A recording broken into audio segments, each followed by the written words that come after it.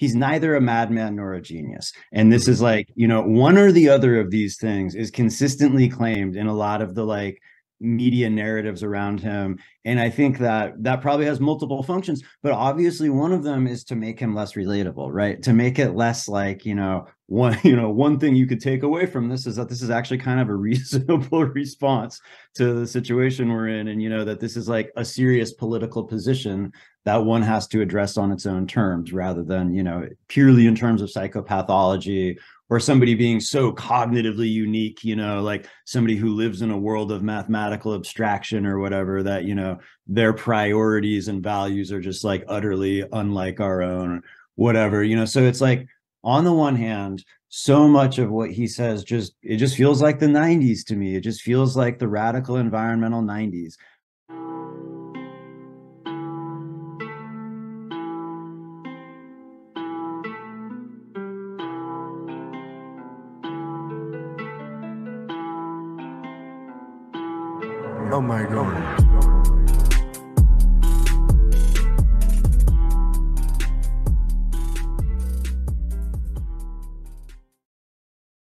Hi, everyone.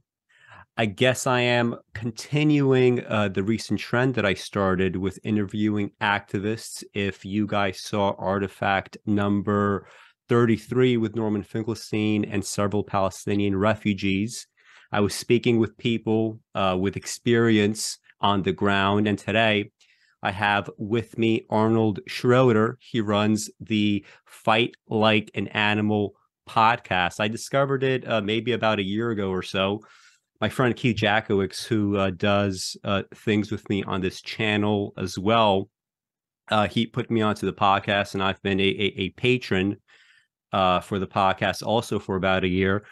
Uh, Arnold Schroder covers climate activism. He covers climate research. He covers, I guess we're going to be talking today, the left right divide politically, right? What that means, the kinds of changes that has gone uh, undergone historically. One thing that I appreciate about uh, Arnold's approach to all this is he sort of mirrors what I've also been arguing before, which is there isn't necessarily anything too scary about understanding human biology, especially if you want to make a leftist sort of project, right? Leftist, I guess, in the classical sense, maybe the Bernie Sanders sense. And Arnold covers that a lot in his podcast too, right? Specifically from his radical activist perspective. So um, today we're going to be discussing Ted Kaczynski's Unabomber Manifesto, right? Otherwise known as Industrial Society and its Future. Uh, it, it, has uh, a number of, of, things that are relevant not only to Arnold's podcast, but also some of the things that I discuss on this channel. Um, and maybe we could just sort of start with a, a kind of like broad uh, overview uh, of the text, uh, some of the arguments. And I know that, uh, Arnold, you also read some other work by Kaczynski that I haven't read. So maybe you could sort of contextualize this book against some of the other stuff that he's uh, uh, written. And also, I should have given you an opportunity to sort of say something else about yourself if you so please. Uh, no, I mean, that's that's great. You did a great job. I'd say the the best way to understand my podcast is that I spent uh, 25 years like truly in the trenches, and um, there's uh, ecological politics are subject to these acute temporal parameters. It's not like it's not like you know organizing against the criminal justice system, so called, or anything else where you can suffer defeats. Um, but there's never like a truly decisive defeat. You can always say that at some point in the future, you know, one's program is going to work out. And that's simply not true of ecological politics. And so I think that for a lot of us, there's this sense that uh, attempts to stave off uh, the destruction of the conditions that make our lives possible um, have really kind of like failed. And at a certain point, we have to like actually contend with that. And uh, so for me, uh, the podcast is um, an instance of of one stepping out of the activist trajectory and just really trying to examine the, the like like what we're doing and and why and uh, seeking out sort of like fundamental um, explanatory frameworks upon which our strategies are based. You know like when we talk about political action uh, of necessity, it's going to be on like a more surface level, like you know, uh, how many, you know, how wide is the road we're trying to blockade, or you know, like how many cops are already, whatever, whatever the question is, you know, like how likely are people to vote for a resolution? Um, but all of those conversations reflect deeper and often unarticulated sort of like social science you know like foundational theories about human nature and behavior and you know what's ultimately possible. And so i you know i definitely was in that camp of of rather than trying to articulate social theory and find a uh, you know like like advocate for a sort of ultimate vision um, to kind of like seek out points of convergence within people's existing worldviews that were the basis of like you know action. Um, and at some point i really came to this conclusion that the ultimate stories we tell about the world and human humanity truly do matter and like having the wrong story actually interferes with our ability to behave strategically. So that's you know that's what i've been doing for these last couple of years is making my way through a labyrinth of like evolutionary biology psychology um, history social theory and all the rest and it's great fun. It's, mm-hmm. it's, it's i got to admit i like it better than getting beat up by the police every goddamn day. Um, so yeah that's what i'm doing and uh, ted kaczynski in his work is very much like um, the political identity that was most central to me in my life was like the Earth First movement, which I consider to be more or less dead at this point. Um, and that's an interesting question in of itself is like why is there no radical environmental movement to speak of as our collective anxiety and grief about ecological collapse seems to grow um, but so you know to me kaczynski is somebody who can be situated pretty squarely within this like broader milieu that I come from. And it's really interesting to, to me to see how as that movement has kind of faded from the public view, he's one of the only voices that remains um, in the public consciousness. Like the, you know, the newer generations mm-hmm. are like really more aware, I think, of the the kind of like fundamental critique of industrial civilization via Uncle Ted than they are from any other source. Whereas at the time when he was doing, when he was like still in his bombing campaign and when he released this text we're going to talk about industrial society and its future, it felt to me very much like standard fare. You know, it felt like one instance of many of this critique that a lot of us were advancing. And, uh, you know, because there was kind of like Earth First was to some extent sort of like a literary movement. You know, it was like about expressing this like sense of selfhood that encompassed all of all of the earth and being willing to fight for, you know, what we regarded as like uh, you know, the the survival of ourselves, right? You know, like the um the persistence of our extended selves. Um it was kind of like this competition to see who could like articulate that most eloquently and that wasn't really ted kaczynski you know what i mean and so uh, for, for me at the time his work didn't really register as like particularly significant the actual text like why he mattered was his tactics his bombings and now you know 20 years later 25 years later it becomes really clear that uh you know tying your message to political violence can actually matter because he's he's the one whose voice still resonates. Like pe- people don't know who Dave Foreman is or whatever. You know, people know who Ted Kaczynski is. Yeah, uh, those are all interesting points. Um, specifically, also maybe with some of the provenance of uh, Ted Kaczynski and uh, the effects that he had on younger activists, or even if you're not an activist. I mean, I don't really consider myself a, an activist, for instance, but my uh, social circle uh, has often been filled with people uh, on on the left, let's say. And I remember in college one time, this woman that I knew, she was telling me how when she was a teenager. She was reading the Unabomber ma- manifesto and just feeling kind of shocked that okay, I know this guy's a terrorist. I know that I'm not supposed to like anything that he says or does but I'm finding myself agreeing with it. And uh, a fascinating thing uh, that you can notice now is when you look at Ted Kaczynski videos on YouTube, or you look at uh, maybe some articles written about him uh, that are open up to uh, public comments, people often say something like, you know, uh, you know, this guy was bad, or they didn't even lead with that. They're like, if you really just read the text itself, uh, he was based, right? He really, you know, was sort of like presaging the future.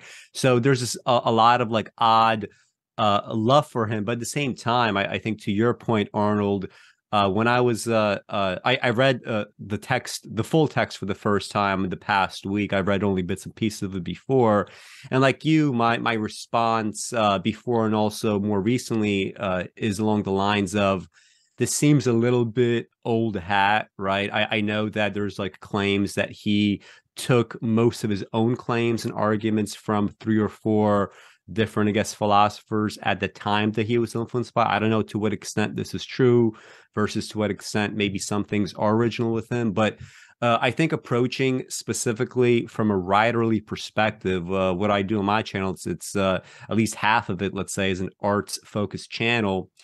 When I uh, uh, when we discuss the arts and we think about great writers and great painters, um, I, I, did this one artifact on uh, this book art and physics by this uh, writer leonard shlain and in it he's making the argument that uh, when you see a truly great artist at work what they often do is whether this is he doesn't say this about writing but you could extend it to writing uh, if they're truly great at their craft they often presage many of the scientific developments for example let's say in painting uh, whether it's like perspective or, or whatever uh, in in the art itself, right? And what I notice in writing is, you know, I'm just shocked when you sometimes look at some of the greatest poetry, greatest Roman poetry, uh, greatest uh, early English poetry.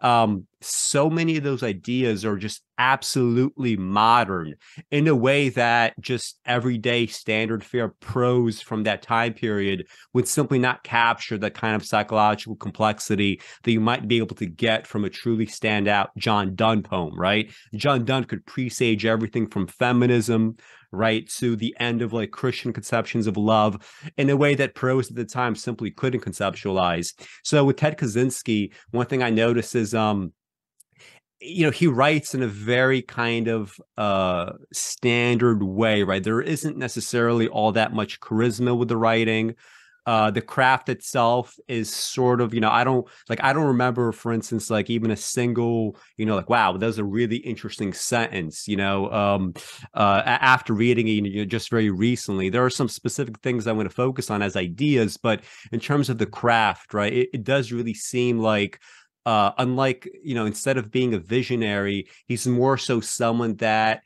uh, is almost inevitably coming to exist based on pre-existing social pathologies whether it's like where we're going with climate right? Where we're going politically the kinds of pathologies that are present in uh, leftists right that he's critiquing in the text right? Uh, he himself is not so much the person to give you know the final sort of comment but he's someone that could you know typify also himself some of these pathologies.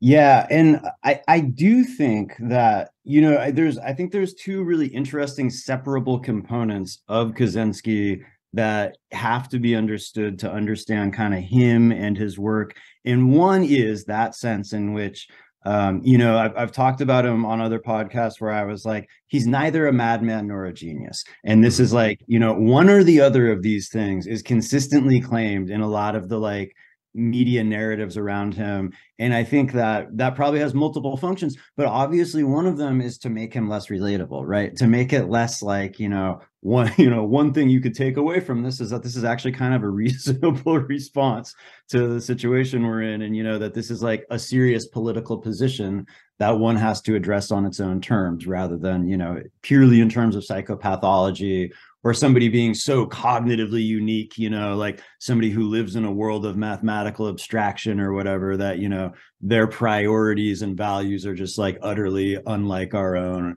whatever, you know. So it's like, on the one hand, so much of what he says just it just feels like the 90s to me it just feels like the radical environmental 90s um, but then, um, I, are you familiar? Do you know like the psychological experiments he was subject to in his college days and all that? Are you? Yeah, I, I, I don't know all the details, but I read about them. Yeah, experiments that basically would not be allowed uh, in the modern day.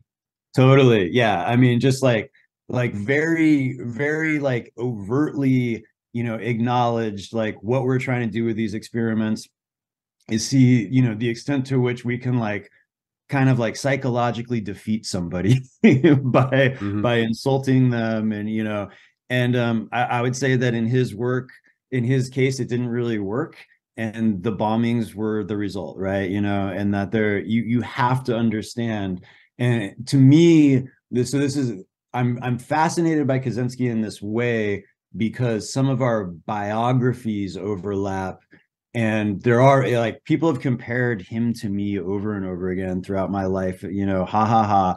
But um you know i grew up being tortured in a religious cult and that experience absolutely i'm absolutely clear it completely like shaped my not just my perspective right? Because again kaczynski shares a perspective with a lot of people but the sort of like program of action that i was willing to to take based on that perspective and that's what distinguishes kaczynski and so, you know, I think that there's this sense in which if you get pushed that far, if you're subject to um, attempts at social control that are that extreme, there is a little bit of a binary where you're either going to break or you're going to turn into somebody who like lives a life of pretty like dedicated opposition to those kinds of systems.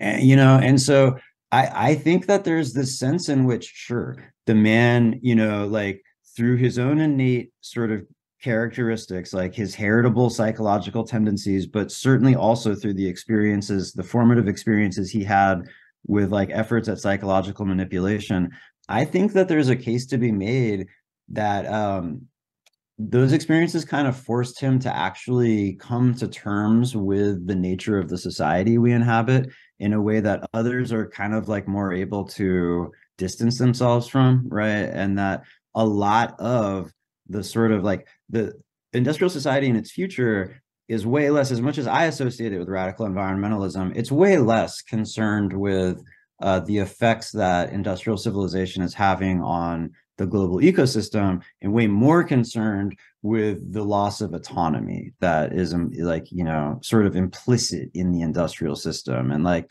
you know he he goes goes into this argument from many perspectives many different times about how like the sheer scale of the forces that we've created uh, via technology and mass society uh, render anybody's individual life and the actions they can take kind of inconsequential. How you know he uses that what's the what's the term he uses? The power the power process? The power process right yeah. you know talks about how that's like this fundamental human need exists to like basically have agency and that we live we've created systems in in which essentially nobody really does not even to some meaningful extent people in ostensible positions of power mm-hmm. let, us actually take uh the opening paragraph i have it right here yeah. of um uh his his tract and uh, I guess just kind of like uh, uh, assess our responses to it because I think this is going to set the tone for maybe the rest of the discussion. So it begins like this The Industrial Revolution and its consequences have been a disaster for the human race.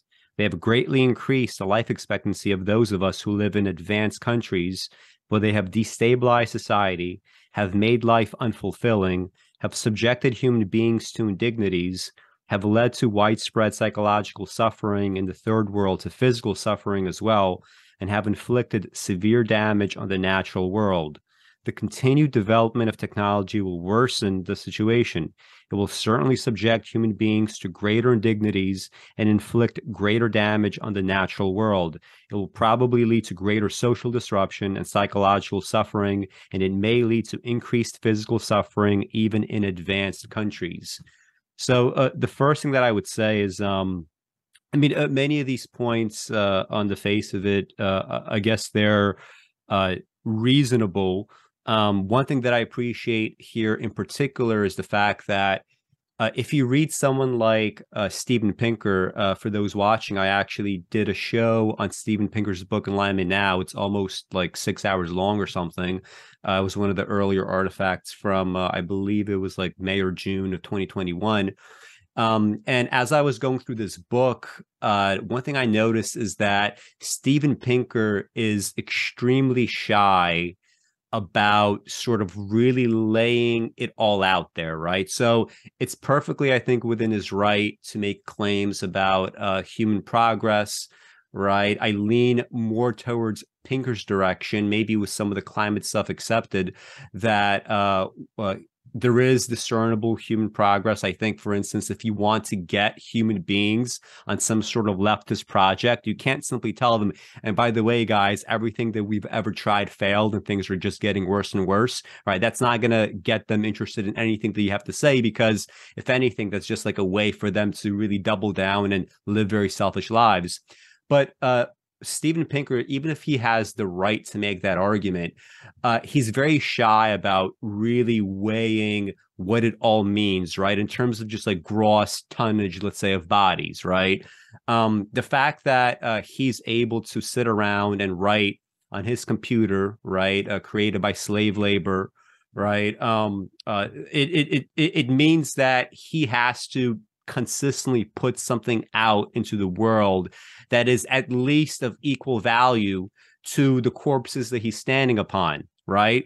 And um, people might not like those kinds of calculations, but all of history is really those calculations exactly, right? Uh, if uh, uh, you know the, the, if the proportion of the super poor is is less now than it was historically, well, can't we say something about the fact that with increasing population, you know, we simply have now billions and billions upon people? That is a, a number that never existed before that are in extreme poverty, right? There's a kind of like Nietzschean sort of set of calculations that he's very shy about.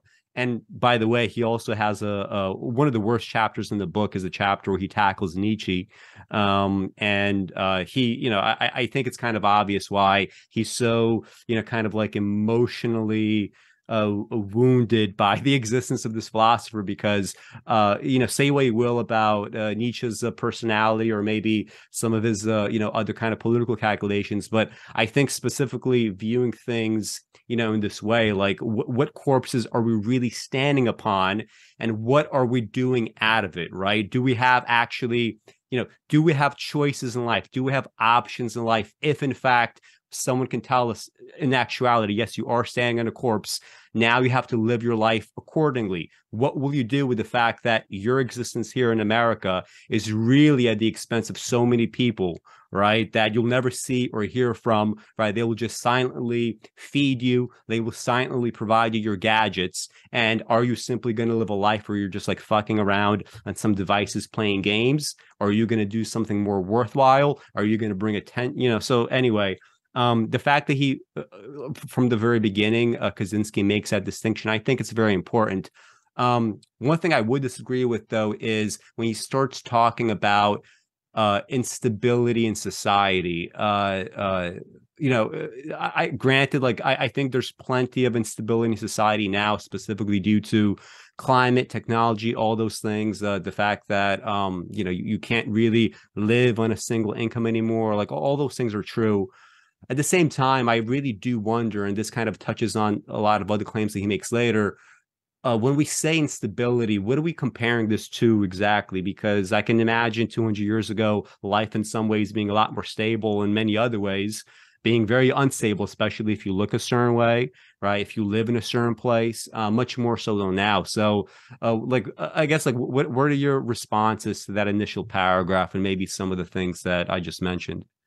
Yeah, well, I, so I think I, like relating it to Steven Pinker is actually super interesting. I, I think it, it, was just yesterday I was writing this thing with a Pinker in mind, which is that when we talk about um, contemporary conditions and engage in any variety of this, like let's contrast it with the hypothetical past, you know, like whatever the terminology we use, like traditional societies or like hunter gatherer societies or, you know, whatever our frame is um i you like the thing that i was pointing out is that um a bunch of terms and like concepts become very like strangely conflated in a way that reflects kind of like a you know just like a sort of morality tale um more than anything like you know a, a logical interrelationship where like what we're doing is kind of like um, conflating variables based on whether we generally associate them with prosociality and benevolence as opposed to like you know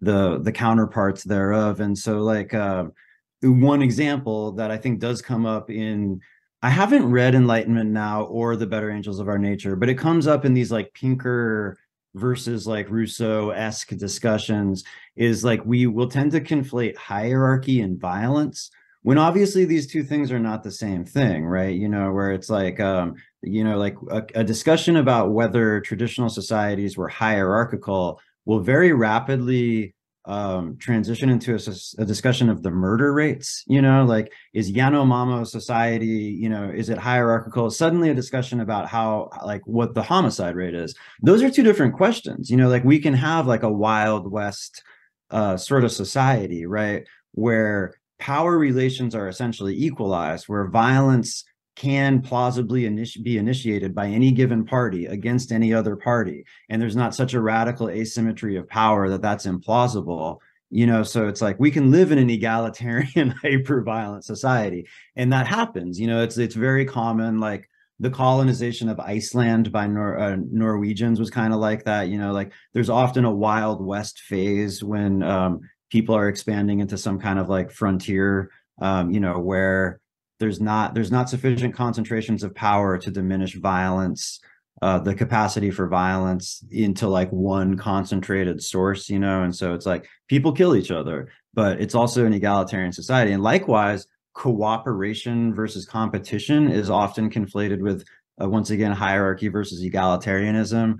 Whereas of course like uh, you know when the nazis are invading poland this is a hyper hierarchical society imposing further hierarchies but it's also like an act of mass cooperation and coordination. And you know a thing we know about egalitarian societies uh, whether they like are hunter gatherers or whether they practice agriculture is that often one of the mechanisms they use for maintaining egalitarianism is um, like dispersion right? You know it's like like an escape potential and an ability to disaggregate into smaller social units right? You know so and i think that that gets into this interesting like i would say ted k is really really focused on like how uh, his conception of freedom. And to some extent he prioritizes that at the expense of you know like other values we might consider benevolent and pro-social like uh you know comfort or like uh even like interpersonal connection or social cohesion.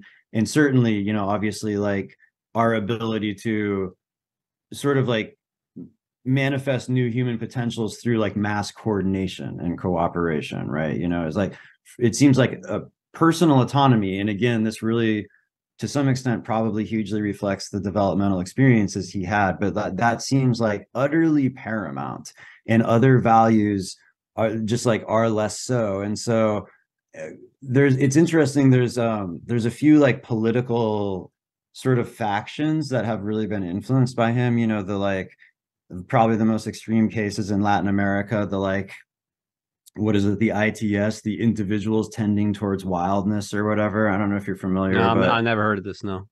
So it's like they started as like a kind of classic like anarcho primitivist faction and then they just got into this like phase of like straight like fatalism where they're like we're you know we believe that the human project is totally doomed and that ecological collapse is inevitable but we're going to run around bombing things and, and like literally killing people to like assert this kind of like you know this like spirit of human freedom that exists in spite of all this or whatever right and um there's a book written by kaczynski's translator um into Spanish uh, called uh, "Repent to the Primitive." That is kind of similar, where he's like he's basically saying, "I'm a primitivist, but for me, that doesn't mean that I think that uh, hunter-gatherer societies."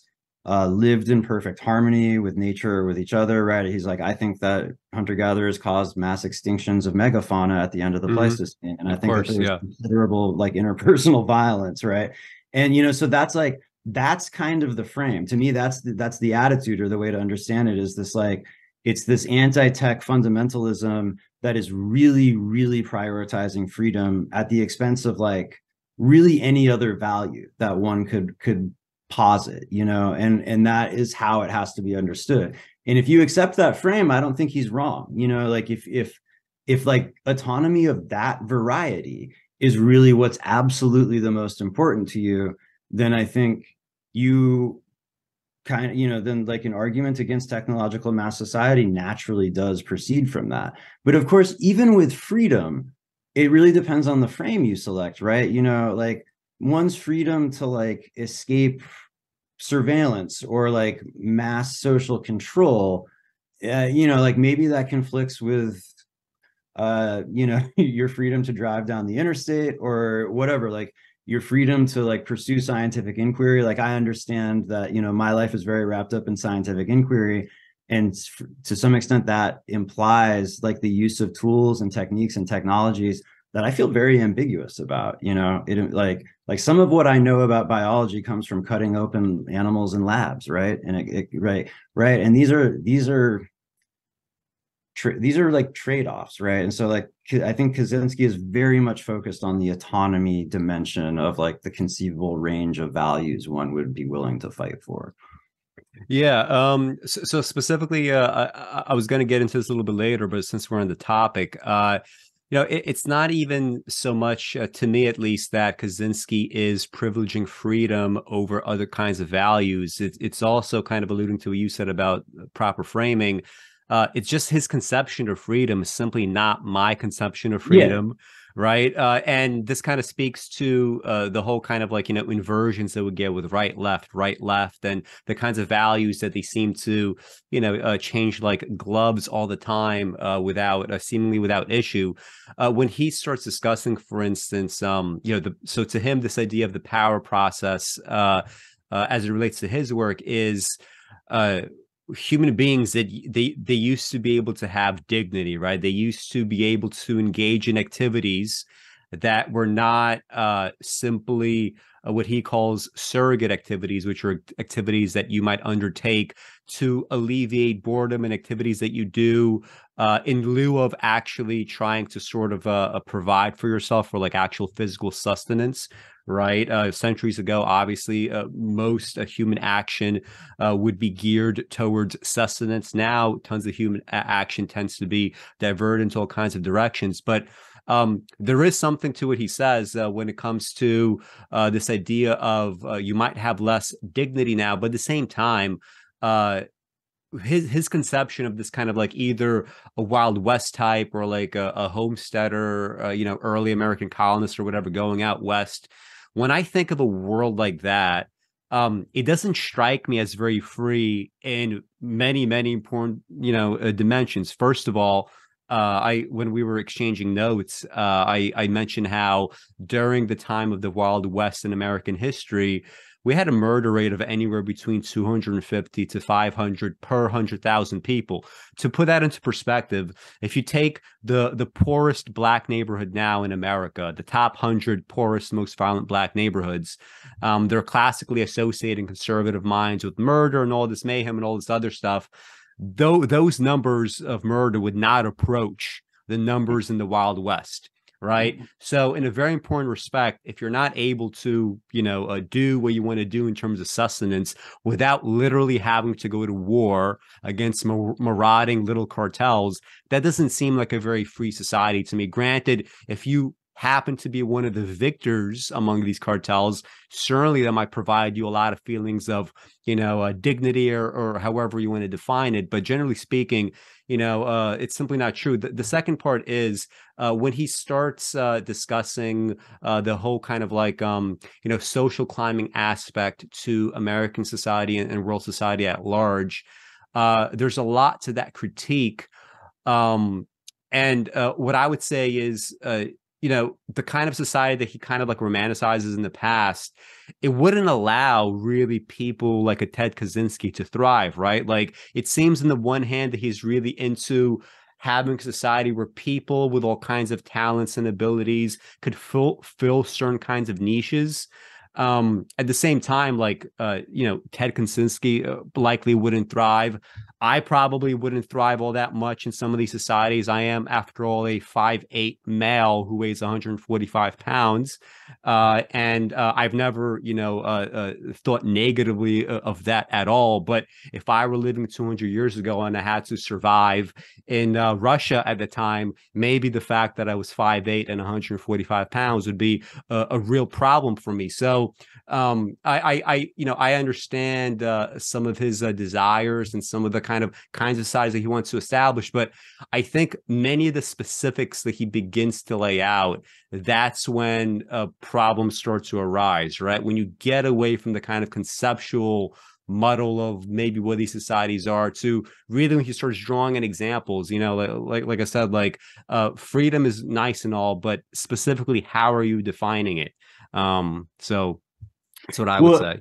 yeah and that's like um I my claim about like you know I think it's really interesting like say take the left right divide for instance. I would say that at its core both left and right political perspectives present these values of um you know advocacy of freedom and against alienation. And then it's just literally like but how you conceive of that is the difference right? You know and so it's like um at, one extreme we could say like but but these really are the kind of i mean it's not that extreme. These are like actually the kind of distinctions we're making. Is like you know one person's freedom to poison the water diminishes somebody else's freedom to drink the fucking water right? Mm. you know and and like both of those actually like you can like establish frames wherein either one of those you know is is like considered like the greater freedom or the more fundamental sort of like value that has to be fought for. Um, and then likewise with alienation it's like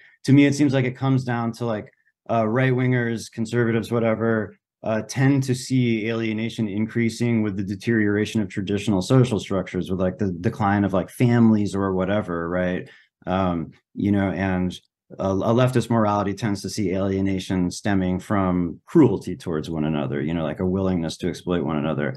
But yeah that like i i think that you can seriously look at almost all like political conflicts and uh, differences of opinion about social organization and see how uh, on some kind of ultimate level exactly like you said man it's like it just depends on how you define freedom because what they're all ultimately saying is that they are like attempts to maximize freedom but there's no way that, like freedom in the abstract always it's always going to imply limitations somewhere else. Like any given freedom implies constraints being imposed somewhere else you know like my like my freedom to not be in a cage only exists at the expense of somebody else's freedom mm-hmm. to put me in a cage. Or we could you know if we want to sound a little more sympathetic somebody else's freedom to not feel afraid of like the, the kind of person i am walking around on the same streets as them right?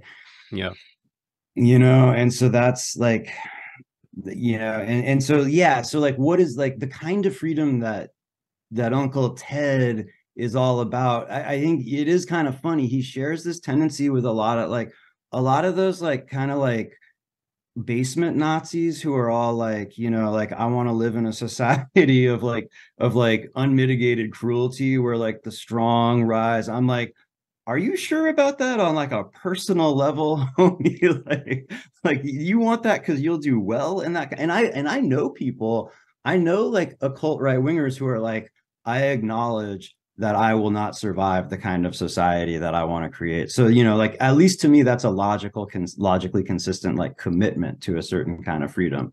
Um, but yeah, you know, and I would also say of his whole trip that it suffers from the same kind of ambiguity that all all politics based on recapitulating the mythic past do, where it's like kind of fuzzy you know like when exactly was this that like we were all free and wild and things were you know and it's like so often whether we're talking about like uh like milk toast kind of conventional american conservatism that's sort of glorifying what exactly like america six or seven decades ago or something you know or whether we're talking to like anarcho primitivists or like you know, capital T traditionalists, it's like, you know, well, it's sort of like you want to recapitulate the Roman Empire, but it's sort of like you want to recapitulate the Middle Ages. You know, it's just like it's very fuzzy.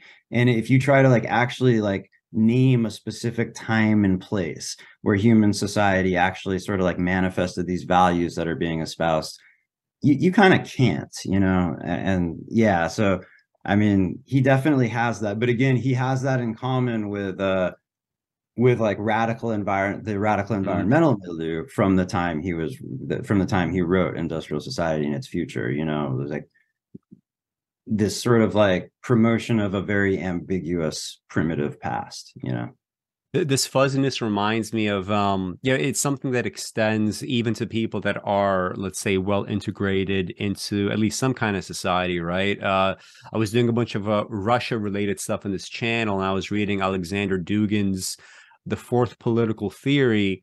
Um and originally i was thinking maybe i should do a video on this but honestly after reading through it it seems to be you know, it seems to be like a total uh, paper tiger. Like essentially, it's this. You know, it's it's uh, uh, at least it forms part of the basis of like modern Russian geopolitics, alongside his '97 book "Foundations of Geopolitics." And um, any it seems like anybody that is advocating. Uh, so, in his idea of the fourth political theory, is something that we need to get beyond liberalism, we need to get beyond Marxism, and we need to get be, uh, beyond fascism but this this uh, fourth uh, idea that he's uh, trying to sketch out uh, it, it simply seems like it's a recap of all these other things in different variations, right? Like when he was uh, uh, arguing in 2014 about the invasion of uh, uh, Crimea uh, with some French philosopher, he was like, and we didn't go far enough. We should have not just invaded Crimea, we should have invaded all of Ukraine and enacted a spiritual renewal. And when, I, when I thought, when I, when I was thinking about that, I was like, well, how is that really different from any kind of like liberal hegemonic project of the past 30 years where we're like okay you know we're not going to say spiritual renewal but we're, going to invade afghanistan and iraq to uh, make them undergo a democratic renewal right? It's just a different word right? It's very it seems like it's very difficult to escape the logic of liberalism but even if you try you seem to kind of like just be you know uh, anytime that you try to create something new you seem to be uh, retre- retreading the same kind of material, the same stuff that has already been a, a long uh, old hat. Um, and this doesn't seem, you know, very different because, like, just like with Dugin, when Kaczynski gets very specific in what he wants to see happen, right? It's like you said, well, I've seen this many times already before, right? And I know how some of this ends or or tends to end. So uh, there, there's there, there, seems to be something, and it, it, does speak to you know the modern dissatisfaction with what is available to us in terms of theorizing. Like you know, I used to be a Marxist. I guess that's the thing that I'm still closest to. I definitely did not become like a reactionary with age but from my teenage years into like I've always had like skepticism, right? Like one of the things was, well, you know, I have skepticism when it comes to some of the science that they push, like sociologically, the whole like denial of human nature angle. You know, a lot of the stuff just didn't sit well with me. So like there's always this craving, right, for something new and different. And yet, you know, in the end, um, you're not really making anything that's truly you know truly different i think ultimately the kind of society that i see long term is probably something uh, fairly close to some level of you know egalitarian distribution but i you know i don't think that true democracy in the way that you know we we think of it is probably uh sustainable. There's probably going to be a mix of like democracy with like it's like a hybrid system with maybe you know people that are capable of, of making actual decisions. Of course like the, it also opens you up to like there's people like Christopher Langan that I did a video on. This ostensibly super high IQ guy with every single idea that he puts forward just tends to be total dog shit, you know, that doesn't understand anything about anything. And yet, you know, um, it's nothing that we could talk about uh, IQ as it relates uh, to all this. But anyway. Yeah, well, I mean, I think that a, a thing, a theme that I am constantly promoting is this notion of, you know, like uh, complexity emerging from synthesis from like a narrow passage between ostensibly like opposed kind of like uh realms of analysis or like you know f- states of being or whatever. And i you know uh, on my better days i can make mathematical arguments for it but um like one one simple way that i that i use to uh to kind of illustrate how i think this has like concrete uh you know tangible political value is in looking at the revolutionary movements in recent years that have like in the last few decades that have been just like personally inspiring to me uh, like two that really leap to mind right away are the Zapatistas and mm-hmm. the uh, the Rojava, you know, uh, the Kurdish autonomists.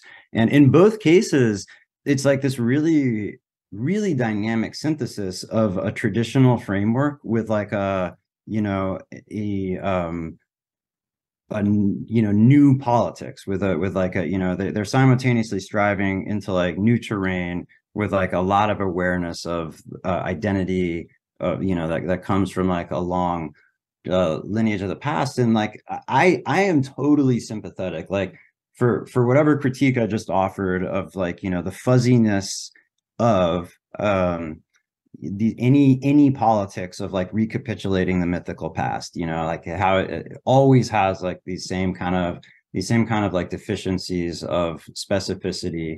Um I, I think there's something there you know and i i totally like a, a book that i absolutely love um, that I thought was a great, like a great kind of window into like some of the artistic and political movements that have occupied my life more than a century later was um, this book, uh, The Rites of Spring, The Great War and the Birth of the Modern Age by Modris Ekstein. Um, so he uses the reaction to World War One and the kind of like artistic freak out. He uses the the Stravinsky piece Rite of Spring as like a, a frame for talking about that broader reality that like after World War One, people were so you know, so psychologically affected by the meaningless horror of mechanized warfare that they've just been exposed to that you know kind of every like the progress narratives were sort of off the table all of a sudden and a, a radical you know a radical questioning of anything we might have taken for granted previously was like very on the table. And that a thing that we saw was movements emerge uh, like futurism which eventually merged into fascism but also you know like Dadaism um, and surrealism, which had more affinities with like anarchism and such, you know, um, where uh, there was this kind of like very complex, sort of never resolving tension between traditional elements and like hyper experimental, you know, like novelty seeking elements, right? You know, like in the Rite of Spring is a good example of that, where on the one hand, like the themes are pagan Russia and human sacrifice, like fertility spirits and all that but then the music and the, you know like the actual approach it's not like this is an actual russian tradition they're recapitulating. And you know their approach to it was like wildly experimental. And um I, you know i do i just really do think there's something there's something there. There's something I, I always say that synthesis isn't balance.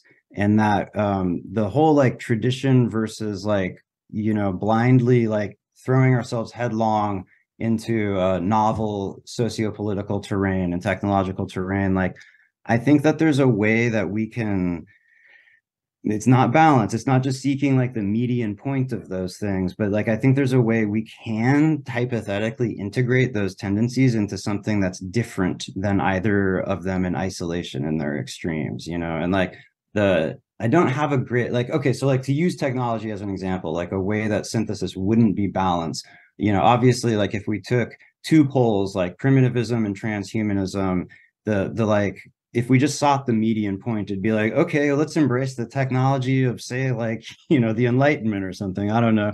Um but then synthesis like a an integrated understanding of those poles might be something like let's go like let's stop living in a resource extraction based economy. Like let's localize our economies but let's use whatever material like extractive material means and methods we need to to keep our communications infrastructure and our capacity to like make art and do scientific inquiry intact right? Like let's go live in little huts that have the internet or whatever. And i'm not saying that that's specifically like the actual right paradigm but it's just an example of how you can like take those those extremes and like integrate them into something that's qualitatively different than either of them are in isolation. And I, I I think that's kind of the like right way to you know to, mm. for lack of a more sophisticated phrasing to approach uh, politics. But but that's always hard. It's uh, you know anywhere you go in any like social political discourse anywhere in the landscape you'll find people orienting towards like a more extreme and unintegrated version of a truth than is like probably healthy or useful you know? Yeah i, I mean i think in general that that applies to uh, politics uh, this kind of like uh, uh synthesis of elements is also uh, uh, just to get a sense of how um you know how kind of like universal it is like even in the arts right? I mean ultimately you know one thing that i often say is that uh I mean, I mean you can't be like a great writer if you don't read right that's uh right. You, you have this like weird uh twitter discourse every once in a while you know by people that call themselves writers and i guess they they mean in the kind of like strictly professional sense right they get paid to release words but they say things like, you know, isn't it ableist to say that to be a writer you need to be a reader? you know, it's just, you know, it's, it's very, you know, it's, it's very silly, so regressive. True. You know, it's like it's a tapping, you know, lefty language for something totally just uh, t- totally asinine. But I mean, in, in, the arts, right? That's exactly how it is, right? Uh, nothing is truly, truly new, right? It's always going to be a recombination of, of, the past in some way. Even someone that comes in a scene in a way that totally shocks the world, like Walt Whitman and his style of lines, right? His style of free verse. That shocked the world, but at the same time, you know, if you're searching for analogs, guess what? 2,000 years ago, you have so many you know, uh, um, like these like long biblical lines, right? And and then you have, you know, later on you have the King James version, right? And and and suddenly you start seeing these analogs. I mean, there's so many similarities between the King's uh, the King James version of the Bible and Walt Whitman, right? That um, you know that it must have been uh, an influence, right? And uh, politics uh, being something that is even more kind of like, I guess, uh, uh, physically result it's, it's, it's a little less abstract right? Um it, it's going to play out in, that way as well. Um uh, i'm wondering what, what, do you think about so like i i think one of the uh, best uh, claims right the most one of the most powerful claims in, in the text is when kaczynski is, is starts with this idea that technology uh, when it begins right it starts with always being optional right no matter you know whatever the thing being invented right um always you know they're speaking to the whole kind of like left right psychological divide there's always going to be a large percentage of people that are uh, very nervous with the advent of anything, right? Anything new comes on scene, they're going to be nervous. That speaks to, I guess, long term sort of biological imperatives to not do anything too much, too crazy, too impulsive, or else you will risk your own survival if you go too fast too soon.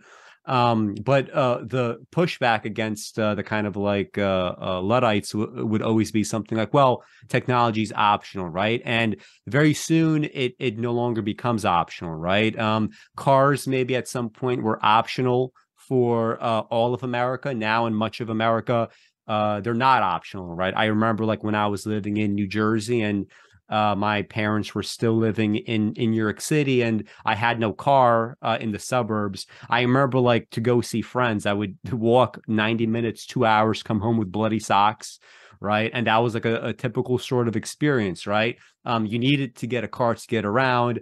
Same thing with cell phones. Cell phones, I remember like I resisted getting a smartphone for many years. It was only you know, like uh, well after uh, they became mainstream that I finally got got a smartphone, and suddenly all these things that seemed to me optional, such as I, I, I want to just check what's going on on Twitter, right?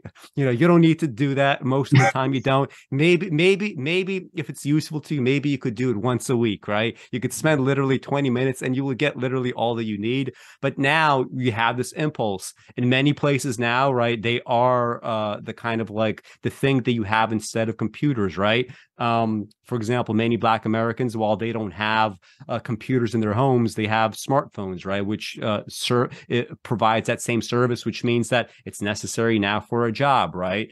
Um, so putting all these things together, like the, the window of, you know, like human activity, it does get both expanded by technology, but also in ways that are very kind of insidious and hard to notice as they're happening. They they become circumscribed circumscribed by the advent of technology, and and he sort of characterizes as this bargain. Like if you come up to you know if a more powerful farmer comes up to you and says, "I want fifty percent of your of your land. This is you know Israel Palestine. I want half of your land." And you can't resist so you say fine take half and then he comes back and of course it's more and more and more right and eventually uh, you're left with nothing and um, we, are sort of i guess seeing this more now with like smartphone technology but i think that that's one of the features of the text that is one of the things plus his comments also on boredom right this inability to be bored.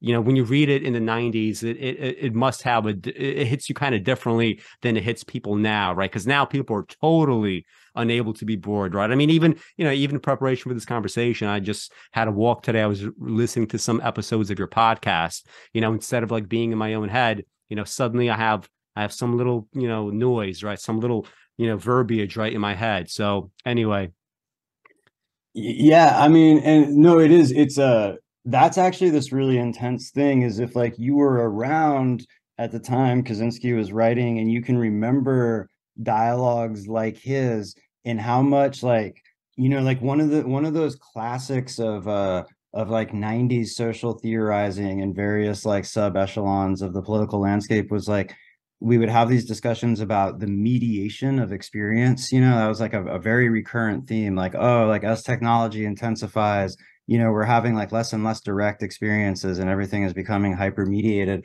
and like now that conversation is just kind of over because it's like like the level of hyper mediation has crossed some kind of threshold where it just doesn't even feel like we need to talk about it anymore right it's like mm-hmm. the mediation one you know and yeah absolutely the I mean, there's there's this great uh, interdisciplinary. I don't know if they still publish, but there was this interdisciplinary journal called the Anthropocene Review or Anthropocene Review that uh, I put out at least like a couple issues. And in their inaugural issue, that was that was like one of the themes, and it was like a real trip to see scientists just have like this candid, serious discussion about like that question: like, is technology something that should be thought of as um, subject, you know, an expression of human agency and like something that exists to further any like identifiable human end or not, you know, and and it's like a, it's just a totally valid question. My in my own experience in life, um, you know, because when I was like 16 years old, I had this big like the civilization I inhabit is destroying everything. Kind of like, you know, like I really, really like I walked away hard. You know, I spent like a couple couple of years of my adolescence i mean literally like almost unwilling to enter buildings and stuff you know and just like really trying to like figure out some way to live on my own terms like land squatting and you know like dispersed you know like agriculture and like a lot of dumpster diving and stuff like that you know but like um I didn't I learned to drive when I was 35 for instance and the reason that I learned to drive was literally oh, I, I still don't know how to drive and I'm 35 Good for you, man. Good for you. Don't oh, start because check it out. I learned how to drive. Like I didn't need it. Like I got by just fine without driving. And I literally learned to start in order to blockade oil trains. Like I was uh-huh. doing all these blockades and I was like, okay, if I have my own car, this is going to go really differently than if I always have to like, you know, mm-hmm. employ somebody else's services. So I like I like,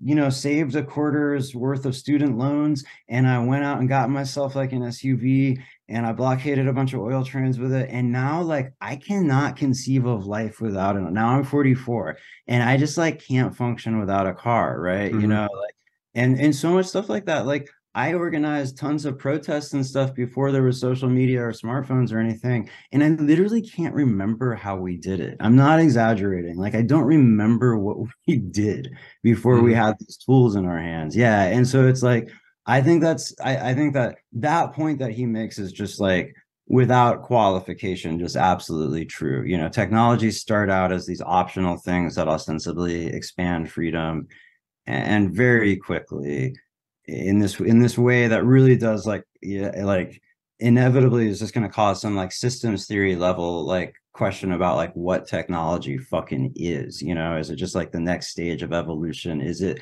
is it domesticating us or did we domesticate it? You know is it using us or we using it? You know i, I don't i don't know. Mm-hmm.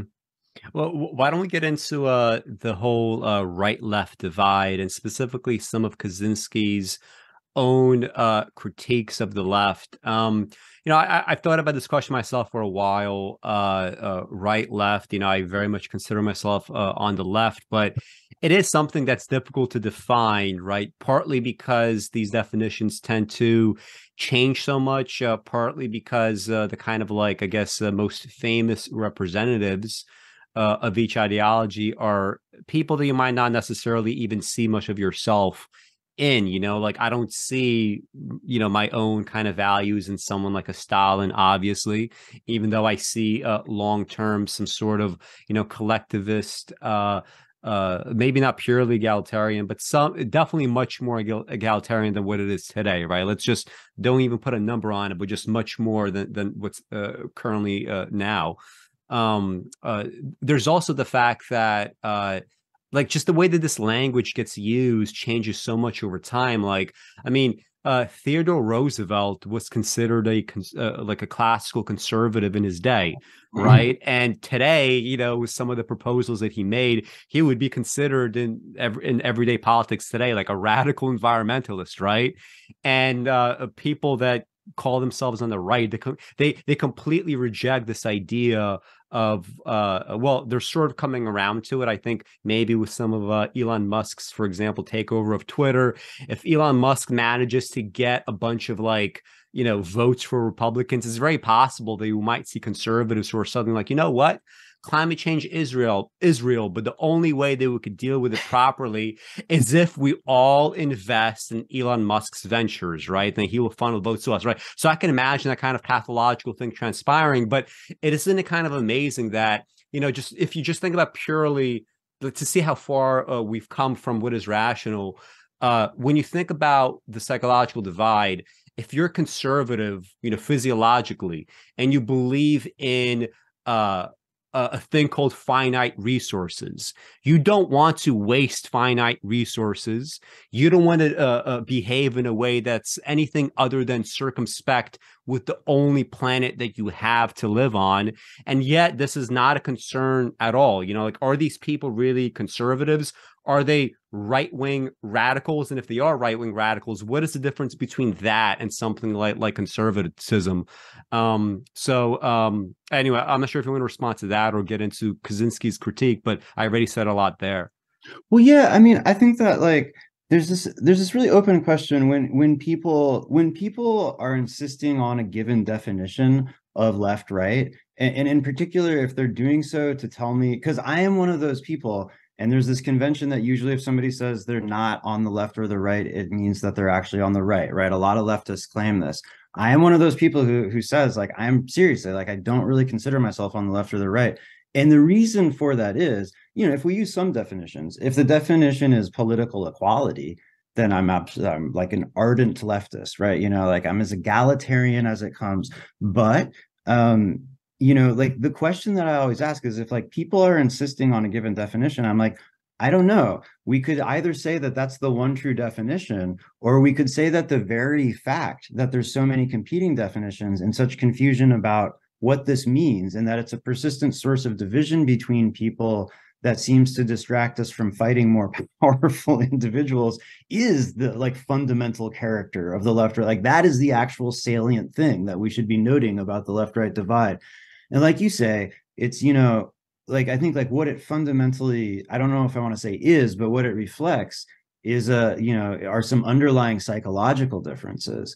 And um, I think that we can, if we look at, so like, let's imagine in a hypothetical ancestral society um, wherein there is the same range of traits that we see in today's populations that map to the right left divide but it's before the right left divide has been articulated or, you know before it exists there isn't sufficient social complexity.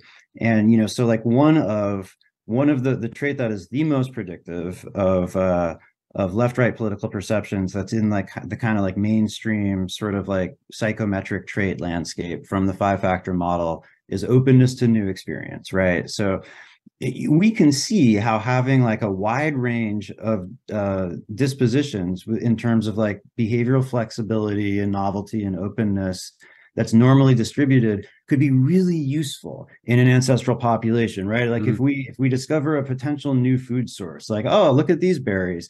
If everybody eats the berries we might all die. And if nobody eats the berries we may lose like knowledge of a valuable food resource right? It's actually better if some people eat the berries and some people don't and um i, I just like I, I know that i know that it's like it's I'm not a centrist. And I know that there's like a lot of people who have like a fairly similar politics to mine who find statements like this like really like it raises their hackles or whatever. But like unless we plan on exterminating every right winger, I think there really has to be some kind of meaningful framework for figuring out how these psychological tendencies they possess can actually be engaged in a social framework that uh, like makes them useful. And I, and I don't think that that's you know that's not me saying like that I want right wing politics to to like prevail. But again you know like these are psychological tendencies and the right left divide is just like a manifestation of them that I think is pretty pathological.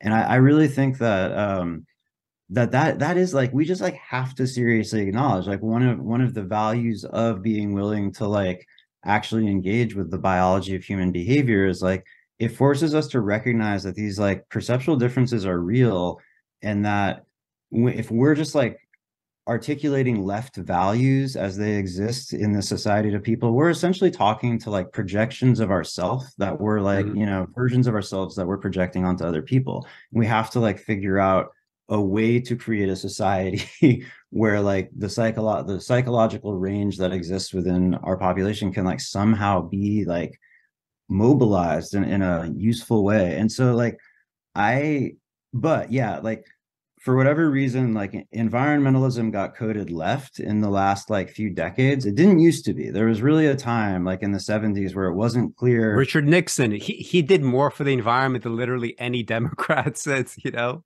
And the stuff that he said when he signed those laws in, into existence that you could never pass today is stuff that you couldn't get like the most Green New Deal Democrat to say mm. now, you know, like, um, so yeah, like it's not it, like it was never like clear that environmentalism was like even a left right. To me that feels like not a core that's like one of those incidental like gun control or like federal versus local control. It's like one of those things that truly hitchhiked along for the ride that doesn't really have an intrinsic left right dimension to it ultimately. Um and, and yeah like i i don't know. I think that there's a a strong argument to be made for um like for whatever reason the right didn't uh didn't like accrue around environmentalism so you never had to like beat them away from the movement. But leftism really did and i actually share kaczynski's perception that that i mean that really is a lot of why there is no radical environmental movement anymore. Like it did get kind of subsumed by leftism. And so even though his like i find his analysis of leftists pretty crude I don't like it. Like it's like very much has like the wingnut uncle like ranting about leftists vibe to it. You know, I just like if nothing else, I don't find it very sophisticated. but um, there, you know, like I actually kind of share his perception that like if you wanted to have a movement of like ecological integration and like just kind of meaningfully moving society forward, um, into a form that could both like survive but also like from my perspective like create greater equality that one very specific meaning of leftism I, I think that you actually have to find a way to not let your movement be devoured mm. by left values. Yeah. Um so speaking to like so in, in, your podcast you mentioned some of these elements right that might be uh, coded into right and left. Um for example like responses to hierarchy uh, responses to change or like you know openness um and also th- there's a third element sexuality. So like i, I think it, it speaks to uh, the complexity of the human mind that and our ability to like bring you know to like build just total you know uh, cathedrals like on on open air right? Um just by strict argumentation that we could have for instance uh, uh you know let's say human beings uh, uh 50,000 years ago that maybe let's say about half of them are hard coded to be more conservative in every way whether it's like sexually or whatever simply because they need to uh, be able to survive better. Um, and uh, in the modern day though you could have like entire movements of people that are just like really hardcore moralizing in any kind of direction for example about you know individual sexual acts. Now uh, in terms of like bringing people more under this kind of like wider umbrella. Uh, but when I, for instance, think about like sexual questions, I always go back to what my friend uh, Keith the one that introduced me to your podcast, said a few years ago. I remember he came to visit me. Uh, uh, he lives in New York City now, but back then he was visiting me, and we were sitting on the train, and he said something like, "You know, when you see all these uh, uh, people that have like you know fetishes like uh, they they like to shit in diapers and have their partners change them. Uh, you don't want to moralize about it and say like oh that's so bad and wrong and evil of you. But you know if you're like an intelligent human being doesn't something at some point click in your head like what the fuck am I doing? I'm shitting myself and having someone change it to me and it's giving me pleasure. You know, there's just like something like just so off the wall and ridiculous and absurd about it. You know, it seems like it's a total waste of time. It seems like it's just so totally self indulgent past the point of any kind of reasonable self indulgence. Um, and I, I think like framing uh, things not in this kind of like moralizing tone, but specifically a lot of these sexual questions, right?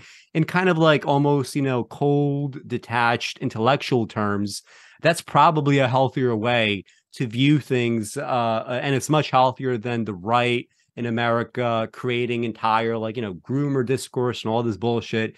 And also like honestly, like you know, you know, I, I, I, I don't, you know, I don't really care that much about trans stuff simply because, like, first of all, like, I'm resentful of the fact that we have like roughly equal numbers of trans people and Native uh, Americans. Um, and yet, like, we we only hear about the issues of trans people and nothing at all, at all, ever, ever, ever, ever about Native American issues, despite the fact that you know they used to own all this land. So now, like the, the new thing on the right is uh, you have you know armed uh, groups showing up in like drag shows with uh, kids in the audience. And um you know i don't want to like moralize about whether or not it's like uh permissible for kids to see this. My uh gut reaction immediately to that is not even about whether it's right or wrong. It's why the fuck is like a little kid at a drag show and not playing not playing a video game not like reading a book somewhere not hanging out with friends they're being taken by their parents to a drag show. That's kind of like the new version of a kid being dragged to Bible camp or some other, you know, some other variation of this. It, it doesn't it doesn't seem to me like it's naturally what kids gravitate towards, you know. Um, and it's it's a bit you know there's there's that kind of left left wing authoritarianism part of it like with like dragging kids maybe somewhere where they don't want to go for the sake of your values but you know you also have the right wing authoritarianism where you have to physically put a stop to this right um and, and just all of this just comes off as totally pathological yeah well i mean and and that's like it's interesting kaczynski uh he gets at a few things again in his kind of like really informal like I'm just your like crazy ass fucking uncle who lives in, you know, Montana kind of like way that, you know, I have like more formal and academic language to use or whatever to talk about.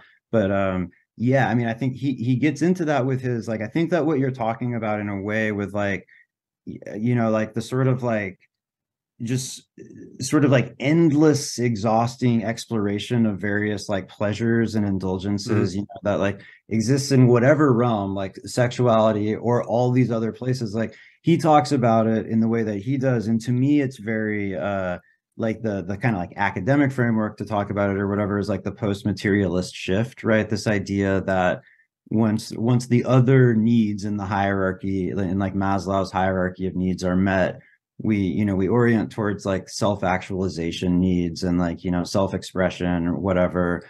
Um and that can look really good if uh if there's like a certain level of like discipline or rigor or sort of like self like a willingness to challenge yourself going on there. But then if it if that isn't present and consumer society kind of militates against it you know it's like very much about doing whatever literally just kind of feels good in the very immediate moment then yeah like our behavior ends up looking like if you take if you take a one of the reasons that zoos are complicated to run is because if you take an animal out of its environment and give it all of its like you know baseline physiological needs for free like you feed it and whatever else uh, a lot of animals just start masturbating like all day you know mm-hmm. they literally just don't ever stop masturbating and uh sure like makes sense you know like what what the fuck else are you gonna do in a cage but um but like i really do think a lot of human society kind of looks like that you know and mm-hmm. it's like there there really is some i do think there's something there when he talks about there being like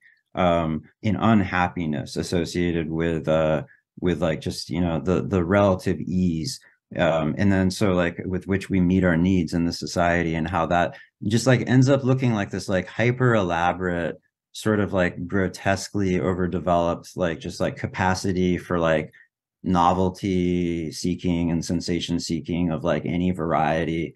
Um and so then there's also this uh uh, neuroscientist Peter Sterling who goes into that a bunch, and I think the the terminology he uses is like reward prediction error, but he's basically like the dopamine system needs to um, to like be sort of surprised by the rewards that it gets or else it just like the threshold just gets set higher and higher. Mm-hmm. and you know so like ultimately it's not like people in industrial civilizations are like hyper consumer societies are necessarily actually experiencing more pleasure because you know like with drugs or anything else you just got to like shoot more and more to get to that same place.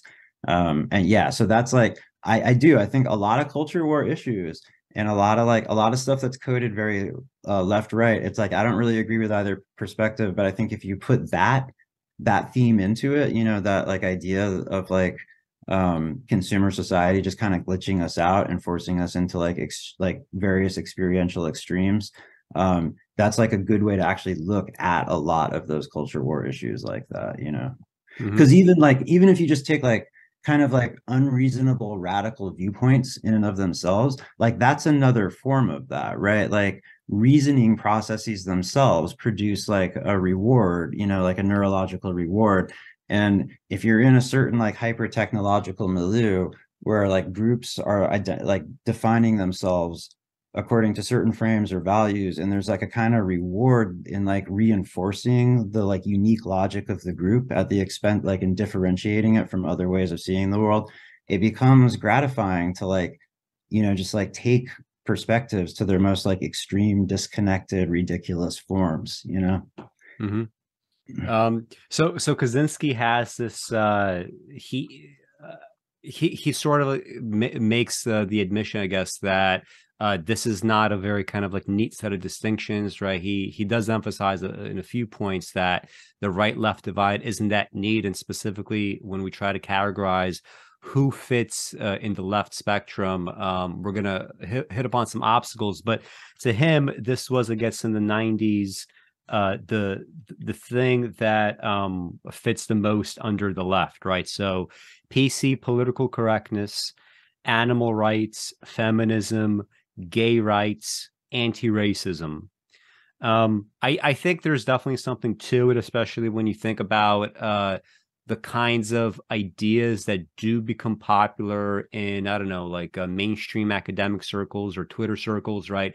There's the whole kind of you know um, uh, uh, Abraham uh, Kendi, uh, uh, you know, how to be an anti-racist, right? That's kind of a classical thing, right? I wouldn't actually put that into the category of of leftism at leftism, all, right. um, simply because uh, you know there there isn't actually uh, in, you know sufficiently enough there to actually make any sort of differences. It seems to be more kind of like you know uh, virtue signaling and discourse it's not actually about you know what like like one thing that struck me about the whole kind of a, a stop Asian hate thing from uh, 2021 uh, uh, wasn't the fact that um, it was, you know, it was first of all, people were denying that uh, it was really Black Americans that were mostly involved in uh, this violence against Asian people. And the reason why they were denying, well, there's a couple things. First of all, right, uh, uh they want to pretend that Black Americans are a, on the one hand, a protected group, but then on the other hand, they don't want to actually do anything to take the sort of you know risks that are necessary to actually you know push them from protected uh, status to like you know equal to everyone else right? Um so you you you would see like all these like asian academics right that would write all these you know articles in in early 2021 and um not one of them you could tell like they probably don't live around black people they probably don't necessarily want to see their taxes uh, go up to actually redistribute wealth and, and actually you know put it into the hands of people um, that would um, you know uh, become more equal in that way. And of course right they don't want to shed light on the fact that you know the the, ma- the vast majority of black americans that get involved in this kind of violence would be you know they're people that are homeless, right? There are people that are in it out of like the carceral system. And these are real, actual social issues. It's not just, you know, a purely racial thing, right? Um, and th- there's a kind of uh, racial reductionism among elites now that is uh, it's it's it's one way for them to get published and for them to virtue signal, and it's also simultaneously a way for them to avoid the underlying structural reasons for things being the way that they are. Like they say structural racism, but they don't actually mean structural racism in the way that I would understand the phrase structural racism. So um, with some of these categories, it seems like he is uh, discussing. Uh, you know, I was a child in the '90s, so I wouldn't know. But uh, from uh, my readings now and people that I speak to that were you know adults back then, uh, you know, political correctness maybe had it had its heyday there. So I would associate all this stuff with a specific strain of liberalism that is not even necessarily on the left, and it's a kind of liberalism that often taps you know middle class upper middle class and also upper class sensibilities you know um so uh, like like what are your response to some of those categories that he lists? Yeah i mean i totally i think that um that again is actually like i would use the the academic frame of the post materialist shift to talk about uh these like changing meanings of leftism right? You know whereas like there was there was a time when we might have had fuzzy definitions. I think there was never a time where there wasn't like these kind of like at least dual meanings where on the one hand it's like about equality and on the other hand it's about like a willingness to accept like novelty and like experimentation with different social forms. Um, and like those aren't intrinsically related you know it's not like all of human history has been hyper hierarchical so those aren't intrinsically logically related elements but um, you know we see in like hyper affluent post world war ii societies that leftism decreasingly means anything about like economic equality or like any kind of like really like material mm-hmm. reality mm-hmm. at all in a lot of cases you know like as you as you uh see more and more people on the left coming out of academia you see more and more an emphasis on the kinds of like techniques on like an, an analysis that relates to the techniques that academics can use right? You know so it's like way more about language and discourse and like uh like contesting on a symbolic plane right right as opposed to like a material one. Um and uh and then but you know like ronald inglehart in the silent revolution where that term the post-materialist shift gets coined you know he talks about how like part of that like uh that sort of like diminishment of material need as being like a real like predictor of you know like a, a, primary psychological reality for people is that their politics like the psychological tendencies that produce like a difference in perception of equality versus hierarchy are going to start mapping out to like these more niche specialized realms of you know contestation. And so like yeah i mean that's like that's if for no other reason to me the fact that for many people left right means a combination of like uh professional middle class and academically inflected sort of like uh privilege discourse combined with like Stalinism, you know, like mm-hmm. that's enough for me to be like, I don't know if this terminology is totally worth fighting for. Like, you, you know, like that's a lot of fucking baggage to get over. And those are just like emphatically not my politics. Um, but yeah, like, um, I, I think that, um, I, I think that he's right that that's like kind of what left increasingly means. And, um, that, you know, that, again like i think that just really argues those tendencies um because it's so because those politics the like um the post-materialist leftist politics are so wrapped up in discourse and symbolism it become it like that makes it very hard to work with people who practice those politics because so much of their methodology so much of like what they are approaching reality from the perspective of is about like uh, contestation on the symbolic plane. So it's like really hard to like come up with concrete strategies because people are just literally going to want to like d- dissect language and like talk, talk, talk, talk, talk endlessly, you know. And um, I, I think that he's really right that you know it's like I think he's really right that the the kind of revolution he's talking about is not leftist, and that if it becomes subsumed by leftism, it's not going to like work or happen. What, what do you think about his more uh, specific critiques of the kind of like psychological strain uh, that emerges in what he terms, let's just say what he terms leftism?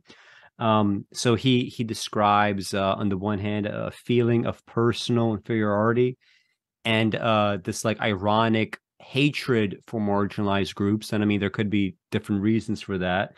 Um, and also this kind of like over socialization and hypersensitivity to uh, words, uh, politically correct traits. Um, and also he doesn't touch on this too much, but I guess we could throw it in there. Uh, we sort of alluded to this when we described, uh, for instance, our responses to uh, human nature. This kind of a denial of objectivity, right? Um, either in yeah. this kind of like crass fashion or in the more kind of implied fashion. I mean, being in the arts, right? I I know that this is like the the number one sort of thought now, right? Where you're not supposed to judge the art. You're not supposed to establish any kind of hierarchies. You can't say one work of art is uh, greater or less than another work of art. So those are his like three elements, right?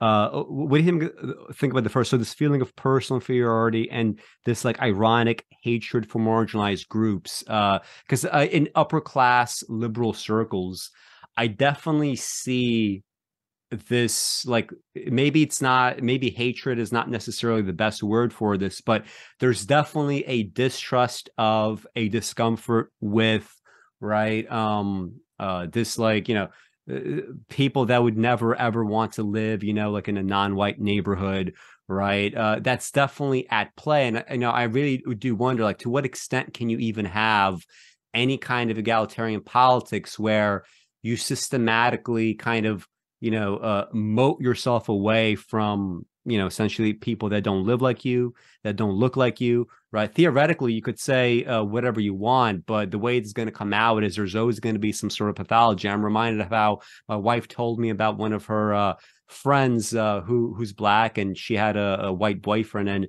when she when when uh, uh, he visited her in her neighborhood he was afraid to go like jogging in the neighborhood because it was a black neighborhood eh, and because he was about to get mugged and you know like obviously you could say like that you know that's obviously a form of racism but i think the, the, the most shocking thing of all is you know this guy who was like six foot four or something like over 200 pounds clearly athletic going on a jog like if you think that you specifically are the target in this neighborhood for being mugged you must not understand how human violence works what you know people who want to mug others are thinking they're looking for victims right? They're not looking for you know a white man who's going to be noticed if he goes missing who's you know clearly large and powerful and is on a jog and probably doesn't have any money on him right?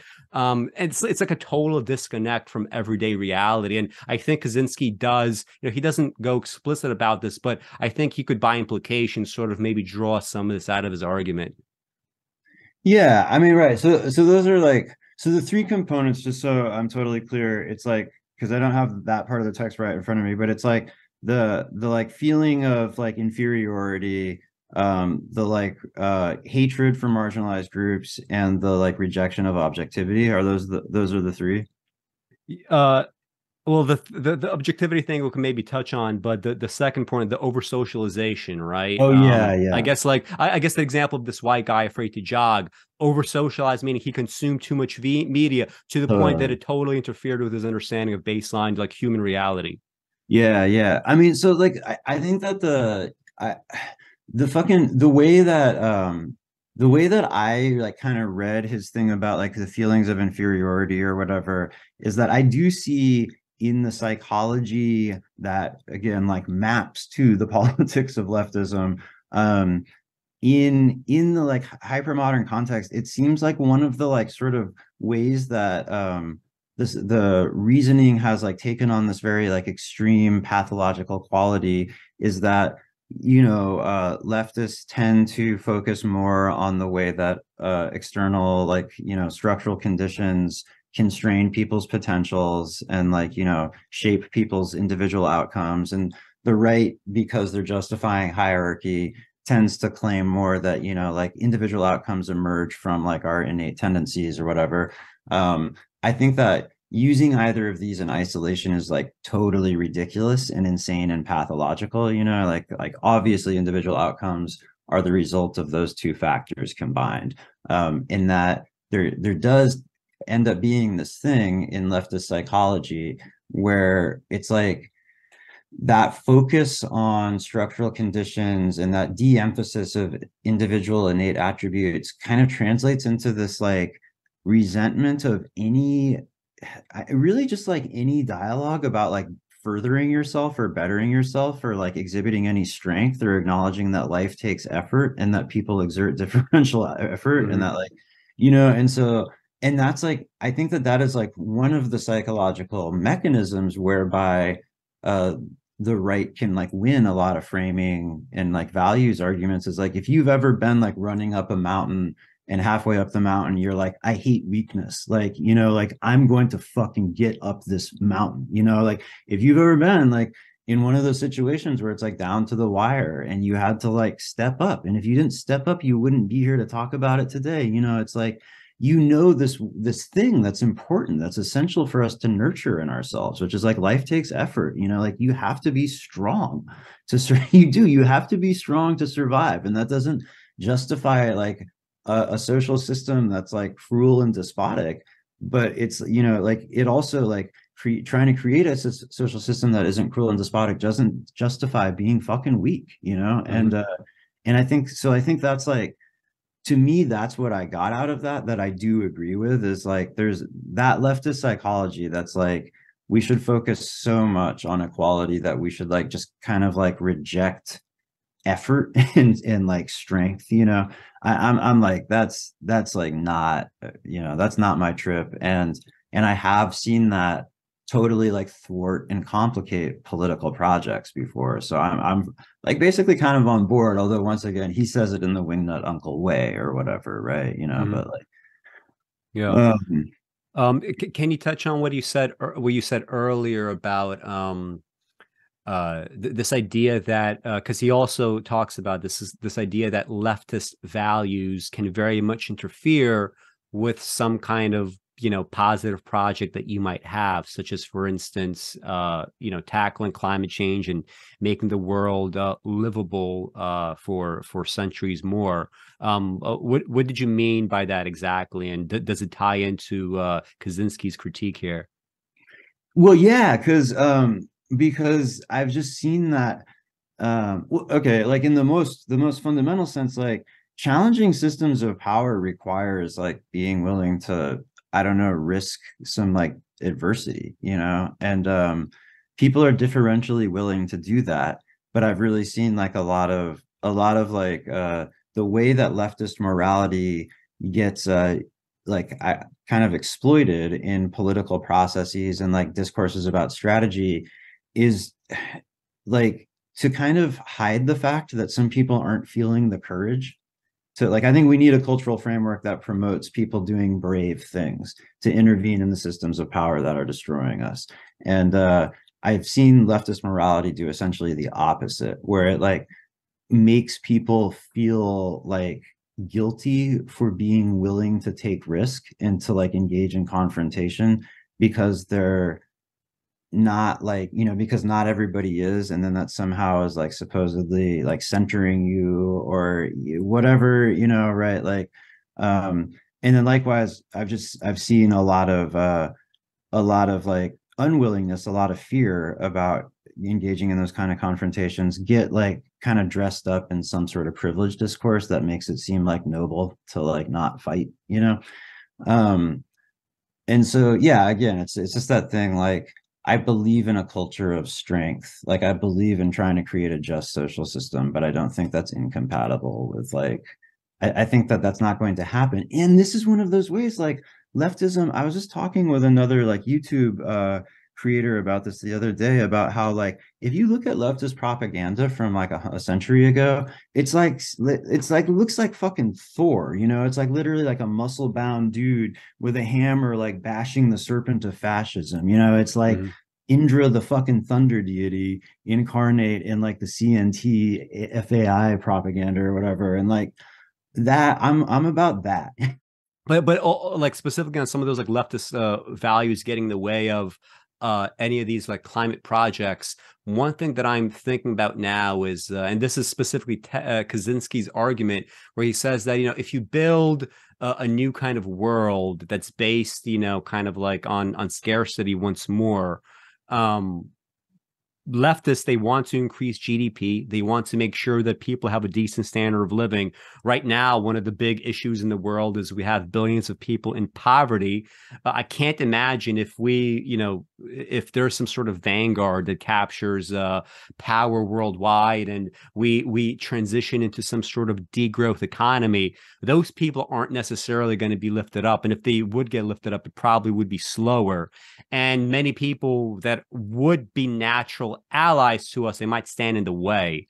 Um like like h- how do you deal with that? Or maybe how might how might you deal also with introducing uh questions of like a degrowth economy to people um while also trying to keep you know lefties on your side? Well yeah i mean right there there is a huge like i mean first of all i just i do want to acknowledge like yeah in that in those specific realms there's a huge barrier. And you know i like i think that you can see that in uh the fucking population conversations where i'm just like i you know like to me it, it it's crazy that it can't be that there's like not a capacity to talk about how there might be an optimal pop human population that is like significantly lower than the one that we currently have. Um uh, which to me feels like that like you know any like literally any acknowledgement of just like limits of there being like like non-negotiable physical parameters that we as a species have to fucking acknowledge right? Um you know and it's like um like that conflicts with a certain ver- type of leftist morality and it, like I, I often quip that um much as i feel like right wing and to some extent just like kind of normal american perceptions of police are high, heavily informed by cop movies I, I literally do feel like a lot of leftist perceptions of technology and ecological limits are informed by science fiction. Like no joke. Mm-hmm. I, I, like really think that's where a lot of it is coming from. And um, so you know, like to, well, and like, and this kind of touches on that, like, do leftists secretly hate, or do like certain people with leftist psychology, uh, kind of like secretly hate marginalized groups? Is like when you have a conversation like this, whether it's about degrowth or population or whatever, um, and people are like you can't talk about this because this inevitably logically progresses into a racist discussion about genocide and i'm like I, it does you know like that's like maybe you're saying more about yourself than you are about the intrinsic logical properties of this discussion right? Because to me i'm like whoa that's stark. That's like really not you know like to me it's like if you wanted to have a human social program that's non-coercive that's based around like a broad social consensus um, about there being like an, an, optimal human population, it's literally like what you would want to do is talk about it and collectively like decide that there's some like you know that there's a, a number out there that's like ideal to strive for, and that would mm-hmm. like that would in fact be the like mode of contestation for for like a, a population outcome. Um, but you know, so like degrowth in general, uh, um, and especially like with regard to people um, in uh you know in the global south or who have who are otherwise in like subordinate positions in the global economy i mean i think that the way that like the steven pinkers of the world make it sound like they have been on these trajectories towards greater like abundance um at least below certain thresholds. Like i wouldn't deny that uh say like people in china are actually you know capturing more like material abundance like for better or for worse. But in a lot of the like like poorer nations it's basically like it requires like these absurd metrics where like you're literally using the dollar amounts that are in their economies as like a proxy for their well-being and obviously like at a certain point before they were incorporated into a global system the dollar values associated with their lives were zero but that doesn't mean that they were living lives of fucking scarcity right you know mm-hmm. And um, so I think that there's like a real conversation to be had here about like just like returning um returning like um autonomy to people's like uh direct interactions with the environments they inhabit and like deriving subsistence from that. And so that's a way that that's a way that my politics is not it's not primitivist or anything it's not even explicitly anti-tech but i feel like it's really different from left right politics and is more like oriented towards ecological realities and degrowth is that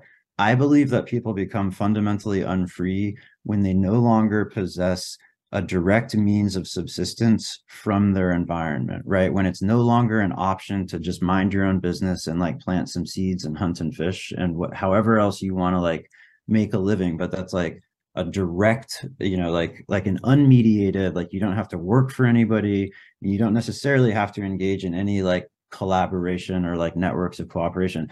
And that doesn't exclude that, right? Like you can you can have a society like that where there's like trade networks and like any level of social complexity and exchange that you want to engage in. But i think that like if it's not an option for you to just kind of make your own damn living like you know directly from the earth you have become unfree. And uh, so to me that's just like a different emphasis. Like i want to return people to like i want to i want to give people that at least as an option and like return economies to a more local uh, you know, like a greater degree of localization. Not that I, I would like necessarily want to see like trade altogether like uh negated, but um that's a different way. You can't measure that wealth in terms of GDP or any of the like metrics. That's not about redistributing like like redistributing money or anything like that, right? That's just like about a different like a totally different like mode of like human ecology.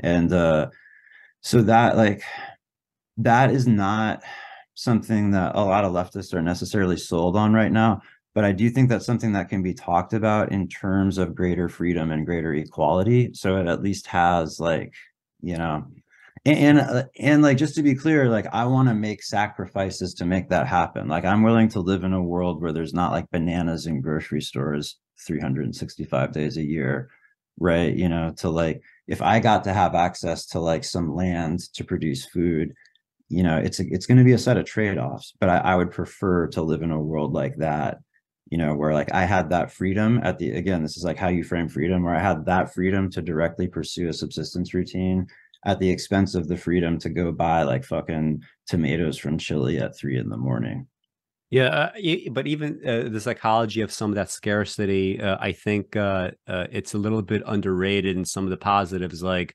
I remember uh, when I was born, I was born in Belarus, right? Um, oh, really? Before, yeah, before it was before the USSR broke up, right. and I remember um, one of my like some of my happiest moments would be one of the very very rare opportunities that I could walk to the market and get a banana. To me, it was like yeah. just this unbelievable fruit. I was like, oh my God, this tastes so wonderful. And I would eat it so slowly and so lovingly. And, uh, you know, uh, it's just amazing to me that there could be like bananas lying around. And th- uh, theoretically, I don't necessarily want to have one at that moment, right? It reminds me of uh, my great grandmother. She would tell me that uh, during World War II, um because she was so hungry they had like about like a hundred grams of wheat flour they were given as rations every day they would make a porridge out of it she said uh, I, I can't imagine that i could have bread on the table and that i don't want to devour it right away.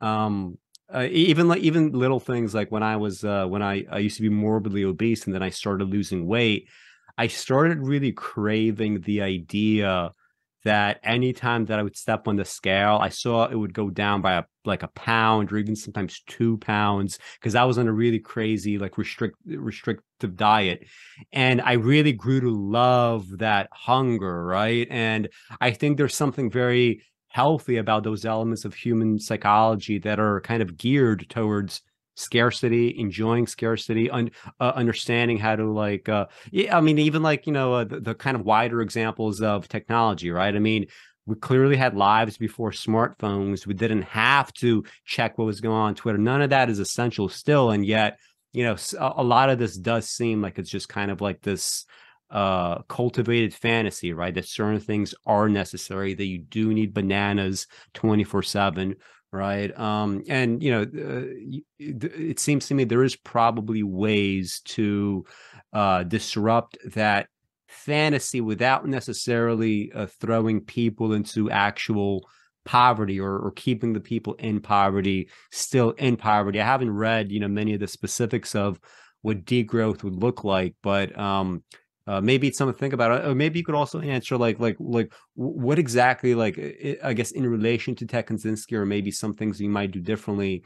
What exactly do you see happening in terms of uh, transitioning to a different economy? Like, are we just waiting for some sort of a climate collapse? It does seem to me like we're just going to wait more or less to the last minute. I don't think we're going to go extinct or anything, but we're probably going to fuck things up enough where, you know, when it's time to pull back from the brink, we're probably going to have a billion or two billion plus climate yeah. refugees, right? We're probably going to have hundreds of millions of deaths altogether, maybe at least.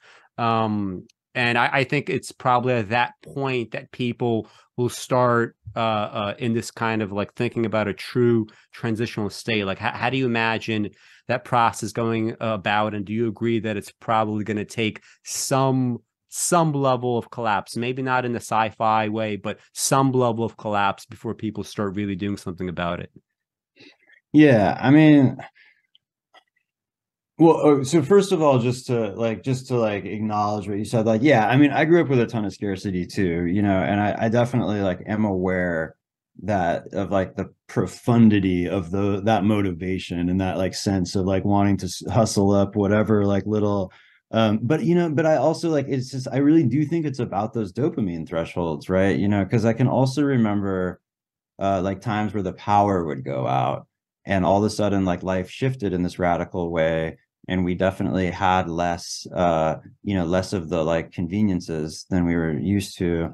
Um, but those were actually my favorite days. Those were those were the best days of my like whole childhood you know?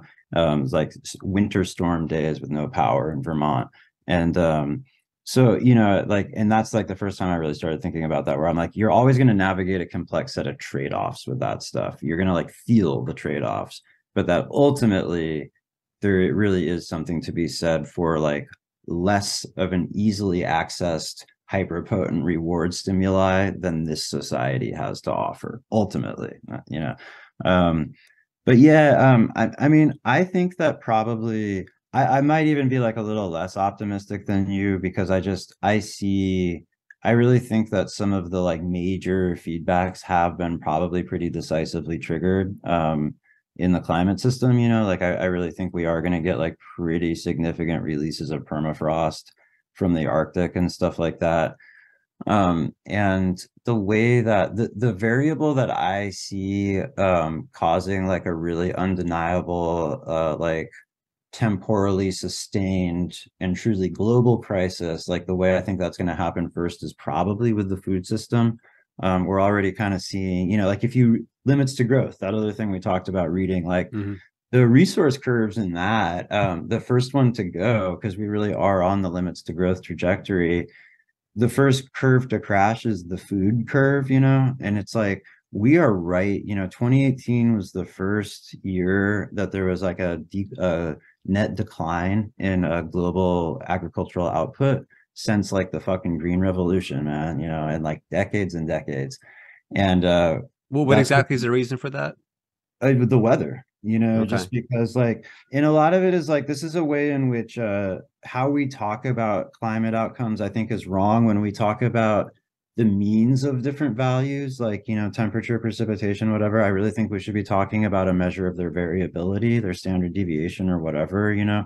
Um because it's not like it's not like if you look at the mean temperatures that prevailed in any given part of the world where there were massive crop failures it's not like those are like outside of the range of like you know viable conditions for producing crops but when you have behavior like it, it like doesn't rain all spring and then there's a deluge in summer or it like you know there's like a temperatures are unseasonably warm so plants don't harden and then there's a sudden precipitous drop and like in the cold snap they die in the frost or whatever you know like when you just have like a like more erratic weather it's harder to grow crops. And so that like that's kind of what did it and we're so we're seeing an acceleration of that trend where now like the the curve really is the limits to growth curve in terms of agricultural output where it's like it flattened a couple years ago and now it's just kind of flat. And if it if it follows the limits to growth model it's just going to be a couple years before it really starts to go down man. And that is that is going to be the mid to late 2020s you know that is going to be when we start to like there's no guarantee we'll talk about it in these terms like we might just talk about how food is more expensive like we might talk about mm-hmm. commodity mm. speculation and fucking grocery store prices and inflation and all this stuff but like the fundamental driver of that will be reduced agricultural output because of the weather and i think that's going to be that's going to be like uh you know and kaczynski talks about this he actually says like we're gonna this is all going to be decided in the next few decades and you know like when the system experiences a true crisis is when the opportunity for revolution is going to present itself and i fundamentally agree with that. I fundamentally think that when that i think it'll be a food crisis and when it happens is going to be the first time that we can talk seriously about like what options exist for ecological revolution. Yeah uh, that's I, no guarantee. I, I i think kaczynski's uh comments in terms of like the time frame that he uh, presents in the 90s that that was pretty good right? He did good, uh, he, he did lay out right that this this would be starting around the time where we would start noticing this a lot more. So he was at least uh, very much correct on that. I started noticing like um you know in the uh, i i was in new york city most of my life so uh i you know i'm used to seeing what the four seasons are like uh, and in the 2010s, right, like that's when really summer started going pretty haywire, right? I remember yeah, exactly. uh, there was there, there was one night or like a few nights rather in 2013 where uh, me and uh, uh, uh my wife now, but my girlfriend at the time, like we thought we were gonna die one of the nights because we we didn't have the air conditioner installed and it was so hot that literally it was like, all right, we're going to we're going to die in this house right? Right? It was it was that just uh, putrid uh, of, of an environment um and I, I am imagining like so like at the end of the 2010s we started seeing more and more wildfires right? This is going to be very much the norm. I don't see anybody really doing anything in terms of like really putting any preparation in place right? There may be some stuff kind of like going on like in the background with like, all right, we know there's gonna be more fires to deal with, but I don't I don't really see, you know, public public investment is not really a thing anymore, right? When right. we look at something like the uh, uh, Inflation uh, Reduction Act, right? It's a propaganda term for it, but regardless, um, you know, these are like what? These are all tax incentives for private companies. This is very different from the FDR style public investment that would be necessary to, um, you know, both protect the environment, but also, you know, just kind of changing the economy. So it's not based on the old uh, uh, uh kind of uh, old kind of models. Um, but uh, anyway, I, am not sure if you if you want to talk about, uh, uh, I guess yeah. briefly, uh, Kaczynski's other book, or maybe uh, uh, close out some other thoughts before we transition to the patron show. Yeah, well, I mean, so uh, I think that this is an interesting um because yeah, I, I, would say the climate of the Holocene ended in 2012, right? And then it's like in 2013, you start globally, you start seeing really different weather. Um, and I, I don't really know exactly why that is. It's just like, you know, some threshold got crossed. But yeah, um, I think that this is one way because you're right. There is no preparation happening for this, and that's like one of the it's weird like the more you like inhabit really specific variables with this stuff like the more detail you get into the more it kind of hurts. And so like one of the things that i used to do that fucked me up the most was just like go through climate uh you know mitigation but also adaptation plans of different governments and like different polities you know? And there's just nothing there man. It's just all literally fucking infographics. Like there there is just nothing that is happening to to prepare for any of this stuff and so that is a question like in terms of like what is the trajectory of a potential revolutionary effort as shit collapses um there, i think that there's this really interesting way in which we could like, transcend the left right divide uh, a little bit with uh there being this real need for us to just like we just need to like do some shit. Like we just need to like you know take some basic fucking measures like some like fucking sandbags and like tear up some golf courses and plant some staples just like some basic shit. And they're um in like modern like hyper modern technological societies there is this like tendency for a fracture for like uh, people with more left psychology to be more involved in like symbolic production and like culture and science and stuff like that. And for right wingers to more be like dudes with trucks you know like dudes who like know how to like move big heavy things around. Mm-hmm. and at the same time i think a very underestimated aspect of right wing psychology and what motivates their culture and politics in uh, today's age is the sense of inauthenticity. Like we're ex- like everybody's experiencing some version of it. And for all those country songs that are about how like they'll stop and fix somebody's tire on the side of the road and how all the neighbors say hi and all that shit like that's not what rural america is fucking like man. It's like the same like alien landscape of alienation and like you know everybody glitching out on their weird corners of the internet and like shooting up oxycontin as every fucking where else in america. And people feel this real need to like they want something to participate in like they want some way to use their like their like prowess and their strength and their fucking trucks and their winches and their chainsaws to like do something you know and to like be part of something that feels fucking authentic and uh and like helps them you know and like connects them to people. And so there is this real sense in which the climate adaptation that we need to do is this thing that really like in theory could unite kind of different functionally specialized like realms of society into some you know bigger project of collective survival. Again that's not the only thing that could happen mm-hmm. you know so yeah i don't know. So those are um those are kind of like my thoughts about about like the near term sort of like likely ecological trajectory and, and what happens socially in response. And uh, as far as like ted goes, um his other his other book i think like the one uh the one thing that it really gets into um that's different or like that i thought was particularly interesting um that definitely isn't in uh the manifesto is this like he uses this language that's kind of better than any of the abstract like systems theory language I had seen before to talk about the dynamics of growth and collapse. And he just he like uses this terminology of self-propagating systems and he like sets up these conditions under which any self-propagating system will grow until it collapses right you know and it's about like tempor it's about temporality it's about like whether there's an incentive for short short-term growth basically you know um so it, you know it's an interesting book but it's also oh and it's very lenin heavy that's not something i saw coming really? at all hmm. yeah but he's all like it, you know because he's just like it kind of it it shows the same obsession with like weeding out the elements of a potential social movement that are like kind of like soft or like you know obsessed with like various side quests or whatever. And somehow he just like ends up using lenin over and over again as like a paradigmatic model of like a hard motherfucker who stayed focused which is you know like i mean i just read like an 800 page history of the russian revolution and i have to say lenin is one of those people where it makes you realize that sometimes actually individuals really do affect history in very profound ways.